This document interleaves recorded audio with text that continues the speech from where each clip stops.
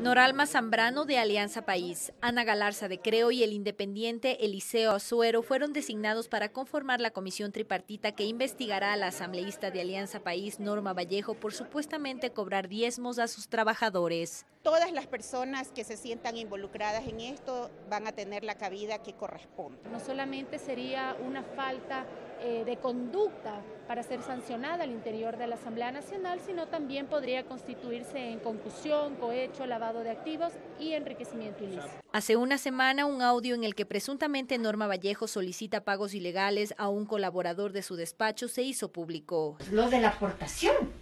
No es, no es, no es que yo esté quitando del sueldo de nadie ni el derecho de nadie.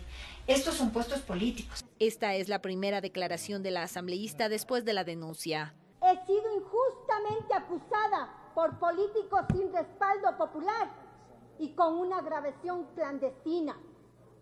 Pero no me juzgarán, porque no tienen la estatura moral para juzgarme.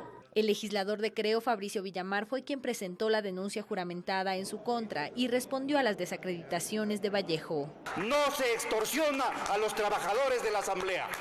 Si tiene que existir una comisión que investigue esto, que sea una comisión imparcial. No tenemos ningún problema. A partir de este martes, la comisión tripartita tendrá 10 días para elaborar un informe que será presentado en la Asamblea Nacional y a partir del cual se podría sancionar a Norma Vallejo. Adriana Bermeo, Noticiero 1.